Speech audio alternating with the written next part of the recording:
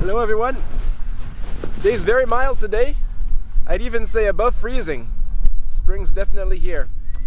Today I wanted to talk about a story from uh, the northwest coast, Pacific coast of North America, and what it may mean for us today, what it means for me personally, what I think it could mean for society at large. That story is called Raven Brings the light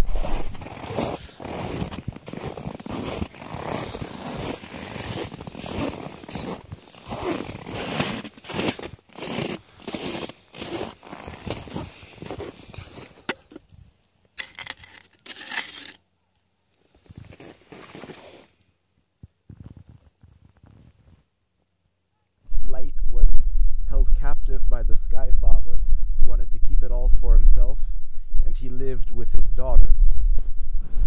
Things would have stayed that way if it weren't for the cunning trickery of the raven, who uh, decided that he wanted light. Light would help him for his scavenging. So he decided to try to go and trick the Sky Father into giving him the light. He succeeded in doing that by transforming himself into a pine needle at the time that uh, the Skyfather's daughter was drinking in the stream. Pine needle came into the water and that the that the daughter was gathering in a bucket, and she drank the water. Pine needle got inside her belly, and she became pregnant, and strangely enough, gave birth to a child, raven child, and the raven was able to um, charm the mother and grandfather and Skyfather, and who, who ended up giving him all the toys that he wanted to play with. And after having um, charmed them, he said that he wanted to play with the box on the shelf that contained the light. Other than if he didn't get the box, he would complain, he would cry. And the Sky Father gave him everything that he wanted, but he didn't want to give him the light though at the insistence of his daughter, he did give him one box, but it, as it turns out, there were several boxes uh, with more and more light concentrated w- within each one. So Ravenchild played with one box. He opened the box, and some stars came out. Starlight came out. Stars went into the sky. He released them. Skyfather's getting nervous because the Raven boy's wanting another box He gave him a, another box, and then moonlight came out. The moon went into the sky until the last box was there that Raven insisted on playing with. He wanted that and nothing else. And the daughter didn't see any reason why he couldn't play with it. She didn't understand why her father wanted to keep the light there, but the father said, No, the light is mine, the light stays here. And there are many speculations, different variants about why the father wanted to keep the light. Some say that it's because he didn't know whether um, his daughter was beautiful or ugly, didn't want to find out because things were easier if he let things if things were all potential just uh, okay lights for himself lights lights kept away uh, didn't want to find out if, whether she was ugly. Another version says that he didn't want to lose her because if there's light outside, then, uh, then her, his daughter is going to go out into the world, leave home, uh, find a partner, things like that. And anyway, he wanted to keep the, the idea is that he wants to keep the daughter at his place and not let her grow up and go out. Um, anyway, um, he does give the Raven Boy the last box, which he plays with. He says, "But you have to stay. You have to keep it here." So at first the Raven Boy's playing with it inside the house, and everything looks all fine, and until all of a sudden he transforms into a bird, he transforms back into a raven, takes the sun, and flies out. Some versions of the story end like that. Other versions have there be a chase.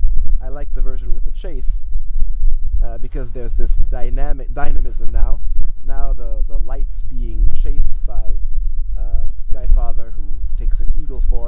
after him, trying to get the light back. Uh, and then there's this. They go into a circular, a circular formation into into orbit. Light goes around the Earth, and um, the, all the living creatures beneath are happy. Every, they can see now, and they go out and there's glorious life, and and they see all the land, all the water, and everything's great. They can they can eat, they can fish, they can hunt, they can they can they can live. And uh, in this uh, version, uh, after a while, the raven realizes that he can't keep the light just for himself, because otherwise the chase is never going to end. So he just throws the sun out there in orbit, tosses it, and it keeps on following that cycle day and night. And I like that idea because uh, there's that dynamism that um, is the opposite of the way things were before static static potential but not uh, actualized where everything is kept in place by sky father who's afraid. And i think this is my interpretation of it but i think there's elements of those three characters both in in the world at large in the cosmos and in our psyches elements of the sky father who wants things to stay the way they are who's afraid things should stay the way they are even at the risk of not seeing what could be beautiful not seeing what could be life giving and life fulfilling there's the life potential which is the daughter who's there but needs to be set free. And then there's the trickster who puts things into motion by by by by tricking the high one into getting what he wants. Can be out of selfish uh, desires to have the light for himself, but in so doing, he puts into play this sort of dynamic tension between the the person who holds things, the the the, the, the authoritarian uh, guardian of the way things are and the way things always have been, and on the other hand, uh, this playful creature who wants to see what can be. And so, yeah, I think those things are at play, especially now. And in society at large. And uh, that's what I've been thinking about past few past few weeks.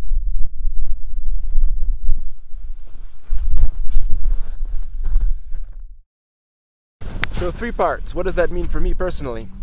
I'd say uh, the old man in the sky is the part of me that wants to continue defining himself um, with regard to others first. So the person who wants to, who sees someone with a strong charismatic energy and says, "Okay, I want to be like him. I want to be like that." That's someone who is strong and and and has a powerful energy. So I need I need to be like that. Or who could, um, when thinking about what do I believe on a specific issue, looks to um, a broad political ideology or uh, uh, an already defined um, religious or spiritual system that says this explains the world from beginning to end. And it's easy to take on because things make sense, there's meaning there. Um, but that doesn't do very much for spontaneity. And uh, that's what I've realized over the years, and that's what I've um, learned that I need spontaneity. So the so the old man in the sky is that tendency to want to um, hold on to energy from someone else and to define myself either for or against something that's there, um, and to take it on really strongly because the fear is that if I didn't do that, uh, I'd be swept away by energy that's stronger than myself, and I wouldn't be able to uh, express myself eloquently or stand on my own two feet. And uh, all of that is hiding the true potential of okay, what could be done? What what kind of um, how could I speak? How could I relate to others?